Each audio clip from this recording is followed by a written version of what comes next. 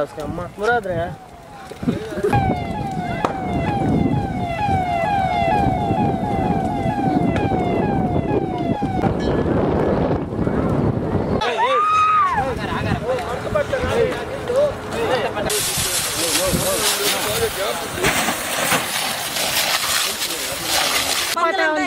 పిల్లలు ఇల్లు ఏదైనా బస్ట్ అయిపోతే ఏం చేయాలా? దానికి ఎవరు హామీ ఇస్తా ఉన్నారు మాకు? నిన్న సాయంత్రం నాలుగు గంటల నుంచి ఇట్లా కాలుతా ఇట్లా పెట్టుకొని బతుకుతున్నాం అయితే రాత్రే ప్రాణం పూడిసిన మా ఇల్లు అయితే పక్కనే ఉంది. ఇంతంత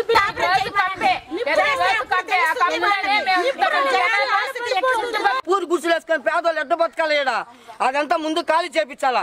ఖాళీ చేపించలేదా మేము మీ దానికన్నా పనులు జరగాలంటే పేదవాళ్ళు కావాలా? మాకు చేయాలంటే మీకు చేయలు రావు.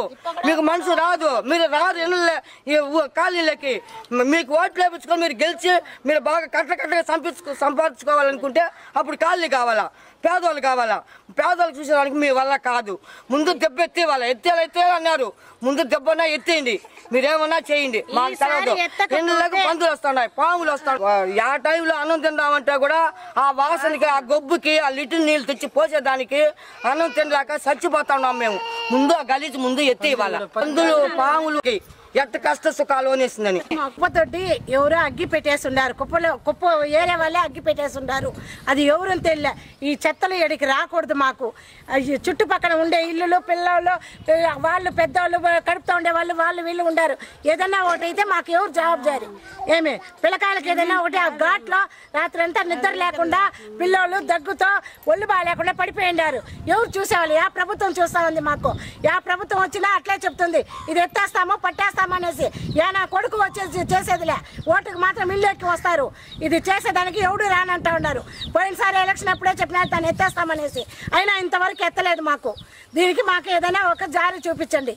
అదిదా మేము కోరుకుంటా ఉండేది. ఈ చిత్తూరు మొత్తం దిబ్బంతా ఇక్కడనే ఉండేది ఈ చుట్టుపక్కల బాధపడుతున్నారు అందరూ. ఆ కుప్ప మొత్తం ఎత్తేదిగా చూడండి. ఈ మా ఈ గలీదే ఎవరు పక్కనే ఏడ ఉండలేకనే ఉండారు. ముందు ఇది ఐదేళ్ళగా చెప్తాను ఇది తీసేయాలి తీసేయాలని చెప్పి అది అంతా తీయలేదు. ఆడుండే వాళ్ళ దిబ్బ పోసే వాళ్ళే వాళ్ళే అగ్గి పెట్టేసి చుట్టుపక్కల గలీజేది గొప్ప అయిపోతుంది. ఇంట్లో ఎవరు ఆ టైంకి ఏమైపోతుందో కూడా తెలియదు